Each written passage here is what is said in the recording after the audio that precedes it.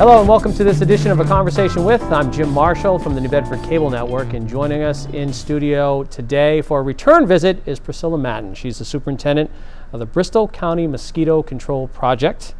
It's a long title right there, but she's back for uh, this year for another visit after last year. And you know, what a year last year for you. Absolutely. Um, and it was record breaking. It really was.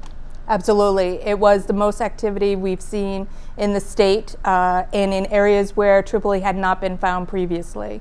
As we know, Tripoli is very active here in southeastern Massachusetts, but the whole activity that took place out in Franklin County, Worcester County, and out towards Middlesex was unprecedented. It was everywhere. Year. It, really was, was everywhere. everywhere. Yep. Yes. So we're back to talk about. I know the mayor's office was uh, talking about obviously getting you on as well, due to I mean they've started spraying now. Um, it seems earlier they started spraying too this year. I mean they uh, we got the press release like a month ago I think that they had already started it. So we you know I think the one thing that you pointed out last year this is a, this is cyclical. So this was last year was I guess year one of what should be a three-year cycle. Yes, typically what we've seen over the last 50 or so years has been three year cycles. And every once in a while, um, it'll just be a blip, uh, but mostly, yes, three year cycles. So last year was a very active year. So we predicted that this year too would be very active. And it, it's interesting too because I, I remember talking to you last year, the year before, two years ago, wasn't a very active year. So no. it's just no, uh, the year before in 2018, we only had one Tripoli isolation, and that was from Plymouth County uh, very late in the season in late September, and then some activity out in Western Mass in October. But other than that, there was no real activity to speak of, uh, despite the fact that we are, you know, continuing to trap and do surveillance in all of the 20 towns within Bristol County. So we were shocked when activity started so quickly in 2019, um, pretty early in the season, you know, mid-July, and uh, ramped up very, very quickly. I think that's what caught all of us was how quickly we had not only mammal biters and bird biters positive at the, almost the same time. So tell us a little bit, what's the cocktail that's needed for an active season? How, what's, what's the environment like? So what we need to have is really good overwintering conditions for the mosquito that's responsible for the amplification or the buildup of Tripoli within the bird population. And they overwinter in our cedar swamps and our red maple swamps. So we need good rain um, in the months of June, July, August, and September as they go into the winter.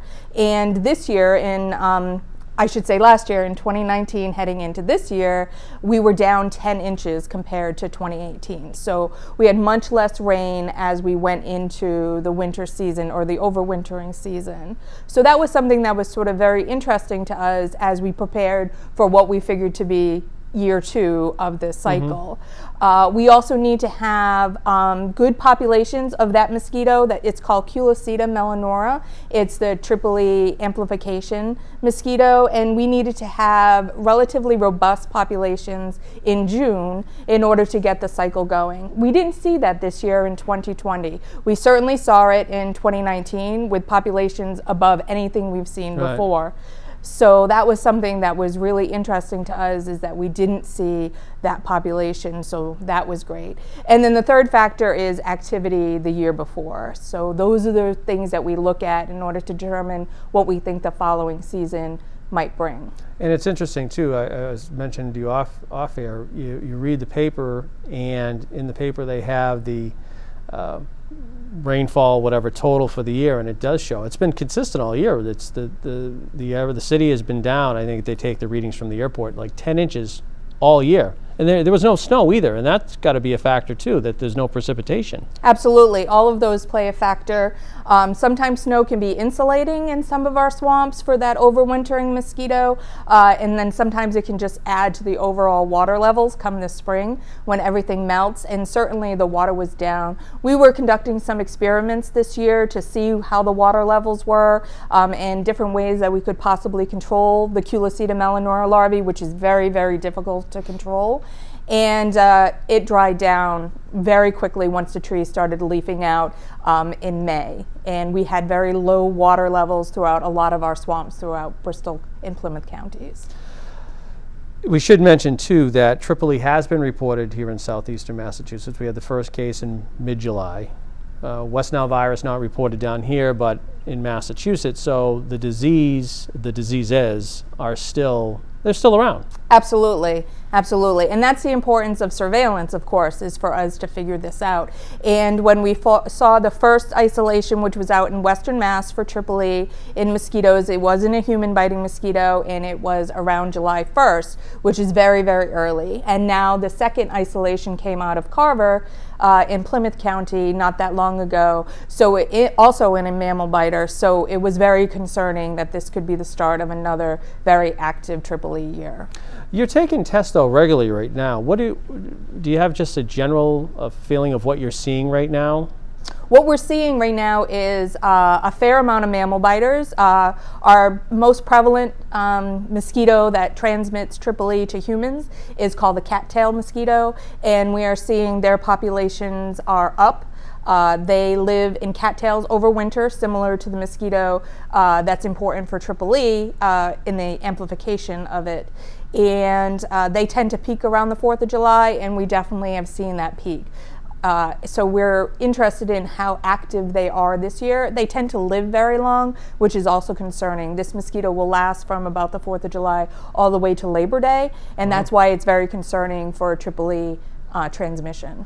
In in the diseases themselves or the mosquitoes themselves, I mean, it, it's still. I mean, because we had sports. I remember in high school last year, um, and I was just thinking of like the soccer and the football and stuff. I mean, it went right through October till you had the hard freeze. So I mean mosquito season, hmm. if you will, you're saying it's from basically June till really that first hard frost. Absolutely. And unfortunately for Triple E or West Nile virus human activity, we tend to see that much later in the season than June and July. Okay. So the majority of the human cases for Triple E will peak around August, and then uh, West Nile virus cases can go all the way into September.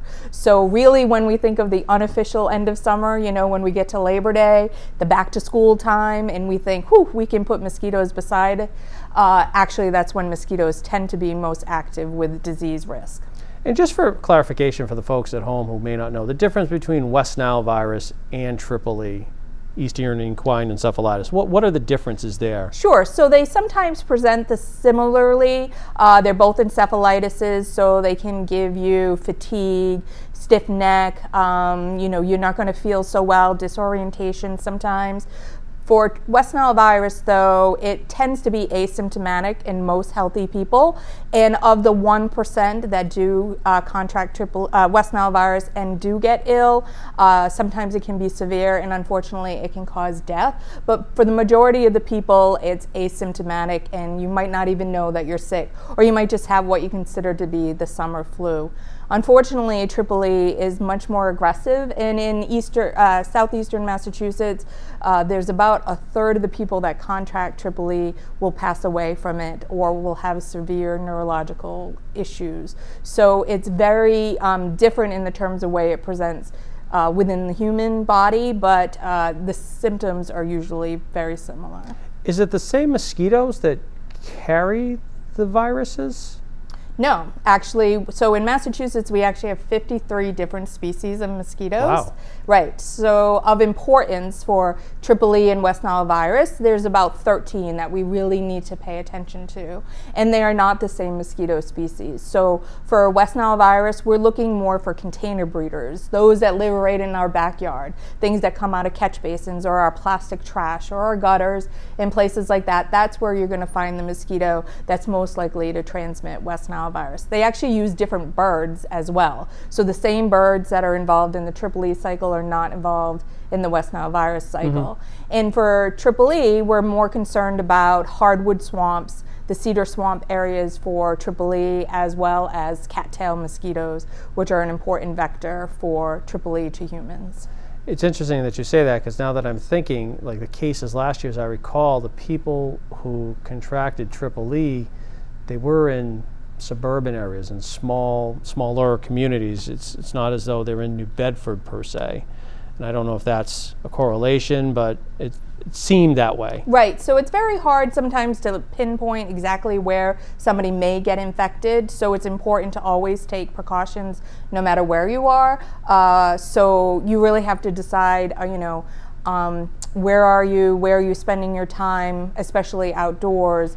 It's very difficult for us to remember back, you know, especially now in the age of COVID, where we have to remember who we right. saw two weeks ago, it's very similar to sometimes when you get infected by a mosquito bite. Where were you? Where did you spend time outdoors? Uh, but Tripoli was so active last year that really no place, right. you know, in the state uh, didn't have activity or a risk. Well, I'm just thinking in the city too is especially well, I guess the north end is different because it's more rural. But as you look at downtown and sort of here in the south end and, and what have you, there's not so many swamps or anything like that, but you do have the the bird feeders and the gutters and, and the, the wet uh, catch basin. So it's it's sort of a different. It is absolutely. Mosquitoes can fly for miles too, so we do have to be careful about that. But certainly the habitat is different. So if we were going to be looking for something like West Nile, certainly the south end or you know downtown is more likely to be an area, whereas the north end, uh, especially where you abut uh, Plymouth County and Freetown, there are a lot of swamps up there um, that can play a risk. But right. we just need to be careful no matter where we are. We are talking to Priscilla Matton. She's the superintendent of the Bristol County Mosquito Control Project. She is with us again this year to talk about the threat of Triple E and West Nile virus. And you brought up COVID, which I'm kind of curious how is that? How has the pandemic affected, in a sense, what you do and what people are hearing or understanding? I mean, last year it was front page in the news and front and center and in news and TV and radio, and this year it's a it's a totally different ball game for you. Absolutely. So besides changes, of course, that had to happen at our office for socially distancing and wearing masks and uh, you know more cleaning and everything, uh, certainly it's not top of the news. Um, so I appreciate the opportunity to come out and speak to the residents. Uh, I appreciate the city of New Bedford, the mayor's office, and the health department for all that they do to get the information out there through press releases and conversations that we have. But no, unfortunately, it is not um, pressing right now, which is why it's important to get it out there that we are in that time, especially since most people have uh, taken to being outdoors more often, right? We've seen our city parks and everything, beaches be much more populated this year than they maybe had been in the past because people need to use their outdoor space and some of it means right in their backyard where they might have standing water that they're breeding their own mosquitoes and they might not even know it. Well, I was going to say too. That's one of the things that the health people have been saying is get outside. And I mean, I think most people are doing the social distancing thing. At least here, it seems to be working. Um, I, I know the city's been very aggressive promoting that, but people are still out, and I think more people are out than probably before because you know they've been cooped up for a long time. So Absolutely. The, so the threat is maybe more prevalent because people are more active. Absolutely, and that's true. We can see that through the years. Uh, in really rainy summers, we'll get a lot less requests for people to spray for mosquitoes, and that just has to do with you being outdoors. I'm sure you've seen this past heat wave. People did not spend as much time outdoors because mm-hmm. it was just too hot. So we'll see that in the calls that we get and the questions that we receive. Uh, the more time people stay outside, the more um, people are interested in what the mosquitoes are doing, or you know what are the mosquito populations. But like you said, it's almost been a little lucky too. The environment that we're in right now has been conducive to a less up till this point, active year for mosquitoes. So it's a less active year for Triple E, but can be a more active year for West Nile virus. Really? Right. So what are we doing, right? We have no rain, so we're collecting water. We maybe have our rain barrels. Maybe we have a bucket underneath our air conditioning collecting water. Maybe we fill our um, you know, our water pots or our buckets one time a year, uh, one time a week, so we can water our garden. We tend to bring those areas of uh, standing water very close to our property, so that tends to bring in the mosquitoes mm. very close to our property. It also can bring in the birds, right? When there's not a lot of water, people like to feed the birds. They like to have, uh, you know, bird baths and everything. All of those are great places for mosquitoes to lay their eggs, and then you get the birds that could be positive with West Nile virus together with the mosquitoes that we we need, and you can get activity pretty quickly. So hot, dry summers tend to speak more towards an active West Nile virus year. Wow. And it's obviously that's something everywhere. I mean, you don't have to worry about the swamps. I mean, that's like we just said, right in South End for crying out loud. Absolutely. And uh, we'd be surprised, right? You can walk around your house, maybe you have a tarp that you have over your wood pile that has a little bit of a depression that's caught some of this rain that we've had. Um, maybe you do have flower uh, pots out there or buckets that you're using to water your garden. You just have to make sure you're moving that water through every three to five days to help reduce the mosquitoes. What are some of the things that um, we, we, should probably talk prevention a little bit too? And you have brought the samples in here to talk about uh, to show people what the larvae look like mm -hmm. and um, and I know it's it sounds like a broken record, but really the, the, the way to combat this is nothing new. Correct, right.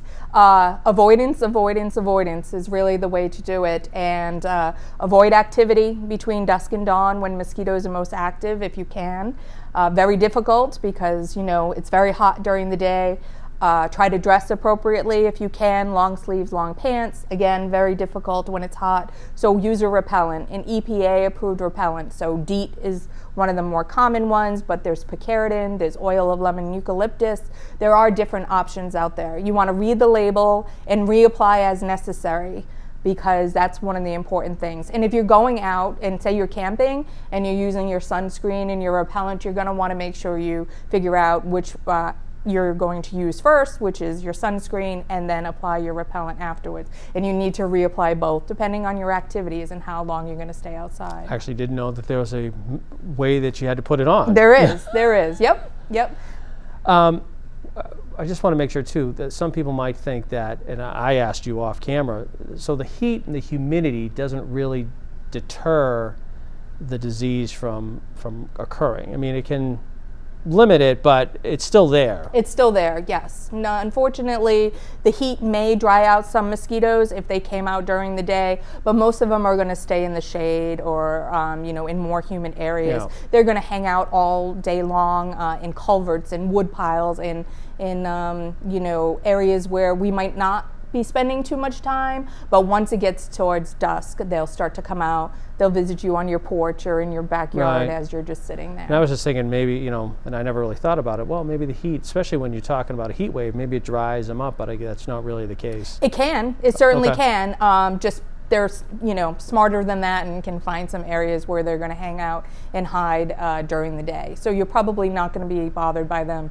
if you're sitting in the sun. When you're talking about the DEET, I was uh, something just popped in my head. Do you get people who say, "Oh, I'm worried about chemicals or whatever"? Is there an oh, a natural thing to to use that prevents mosquito bites? Sure, and uh, DEET is probably one of the most uh, tested and studied of the chemicals that we use on our skin. It's been around for so long. So certainly we get questions and concerns. Sometimes it's not just about the chemical, but the feel of it. They've made a lot of new types, you know, dry, soft, you know, less oily. Um, oil of lemon eucalyptus is one of the new products that's out there that's more of a natural product. However, it does have some restrictions for not to be used on children under two. So we want to make sure that we're using the products that are best for us. If chemicals are a concern, you can certainly use clothes that already has chemicals impregnated in them, such as permethrin, so more of your hunting clothes. Um, you can find those at your sporting goods stores where the chemicals are already in the clothes and maybe that's what you wear when you take the dog for a walk or you're gardening or you're outside at those particular times, then the, it's not directly on your skin. And then if you don't want to, then you know try using something like long sleeves and long pants, loose fitting clothes that can be light in color so that you know you're not getting too hot, but can also reduce the, the mosquito's ability to bite. You touched upon kids, and I know that's a huge trying to get kids to do that, and, and parents are worried about it. But it's something that's got to be done too. And I mean, you mentioned the two-year-olds. I mean, the younger the kid gets, you're probably more afraid of putting something on that you just don't know. Absolutely, absolutely. Uh, if they're really small, try using, um, you know, a screen over, if you're walking them in a carrier, you know, try putting a screen over them. Things like if you're just hanging out outdoors, maybe in your backyard, use a fan.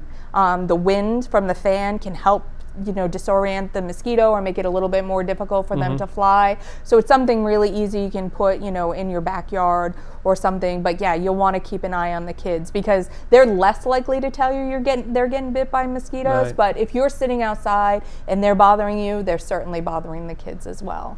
Talk a little. You mentioned um, pets, and I'm curious as to. I mean, obviously, we know that horses are uh, can be impacted, and I've seen, you know, farm animals, and I know, you know, people who might be watching in Freetown and Rochester and what have you, where the animals are pre- prevalent.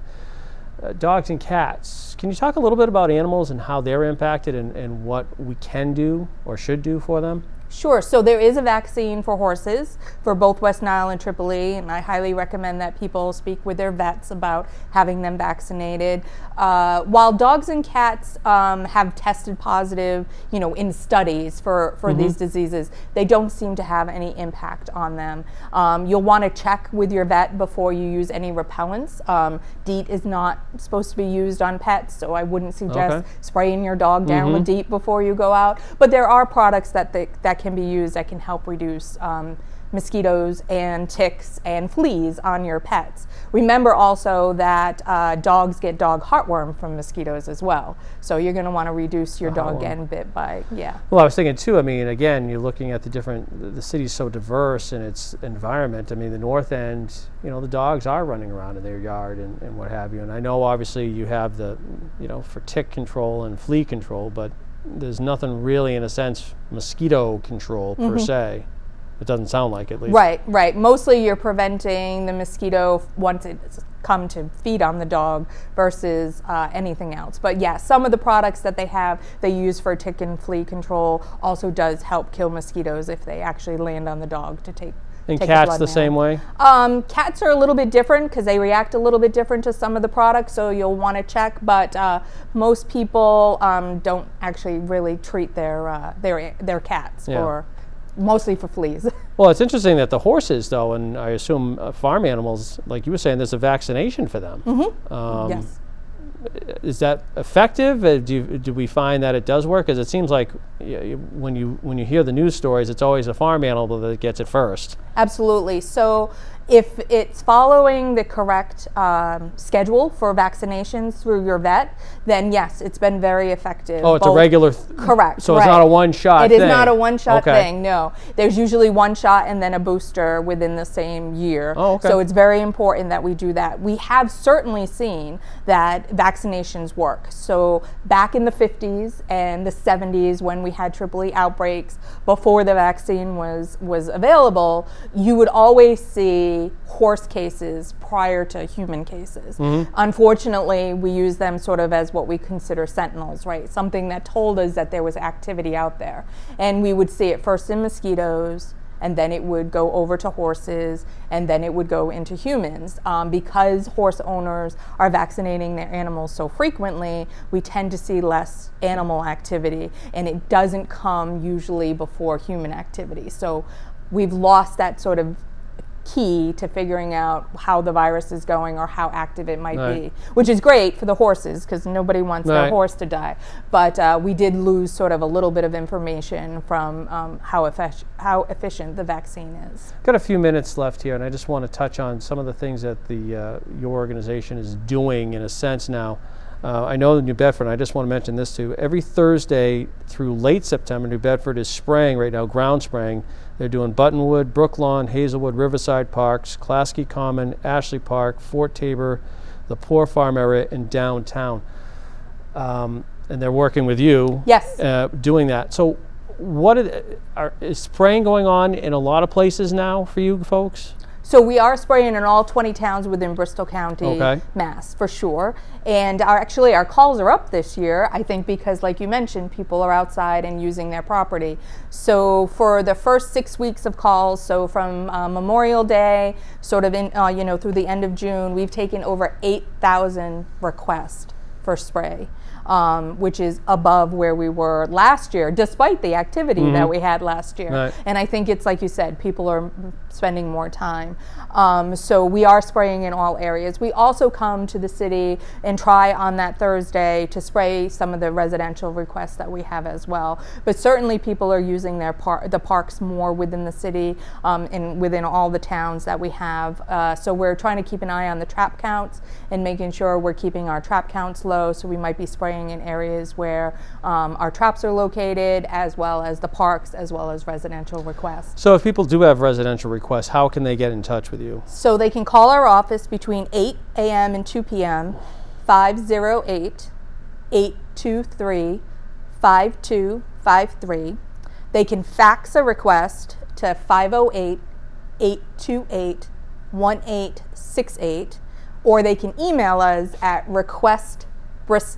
requestbristolmcp at comcast.net. And all we need is your last name and your full address. How, how many times does that work? Um, is it a one-shot deal, or is it something that people have to get kind of like a booster shot that you got to do it a couple times a year? Right. So it depends. We find that it's different depending on where you live.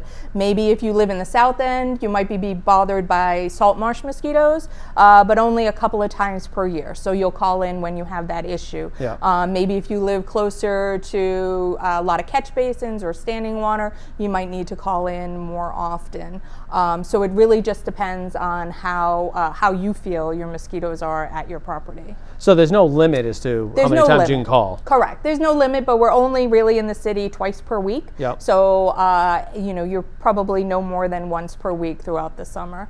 Um, we'll stop uh, once temperatures drop below about 58 degrees in the morning. We don't start before 58 degrees, but we stop when it gets below 58 degrees. And that's just simply mosquitoes are not flying when it's too cold outside. So the only way for our product to work is it has to come in direct contact with the adult mosquito in the environment. So if they're not flying and they're hiding somewhere, the product's not going to work. So we only spray when it's above 58 degrees. So the frost kills them, but there's sounds like there's sort of a gray uh, a window, if you will, of less activity. Yes, absolutely. So frost, a hard frost is defined very specifically of, uh, oh, uh, you know, less than 32 for more than three hours for three days in a row Right. or a hard frost is like below 28 for so many hours that really doesn't take place in in our area Till and- October. eh, or November in some cases it can take quite a while um, so yes, so you'll see a decrease in activity, and you'll see an abi- inability on our part for chemical control to work very well. Okay. So that's when uh, personal protection certainly takes up more uh, more time, and more or less the mosquitoes are not necessarily dying, or you know, or dying off. Uh, they're just not going to reproduce again. So the eggs are going to stay, the uh, larvae are going to stay. They're just not going to emerge, and then we do have a few adults that actually overwinter. Um, as adults in, in the area. People looking for information, what's uh, the website? Where can they go to? Uh, it's www.mass.gov slash EEA slash Bristol County Mosquito Control. And all the information that we've talked All about. the is there. information is there, phone number, email address. If you want to exclude your property from being sprayed, if you want to be an exclusion, you don't want pesticides on your property, you certainly can call us and make a request. We'll pass it on to the state. Uh, and if you have any questions about the products we use or the products we talked about for uh, personal repellents, it's all on our website. Sounds good. It's good seeing you again. Thank you very much. Thanks for coming in. I appreciate the opportunity and I appreciate the City of New Bedford allowing me to uh, provide this information. That's going to do it for us. I'm Jim Marshall, Priscilla Matton from the Bristol County Mosquito Control Project has been our guest. We thank you for watching and we'll talk to you again soon.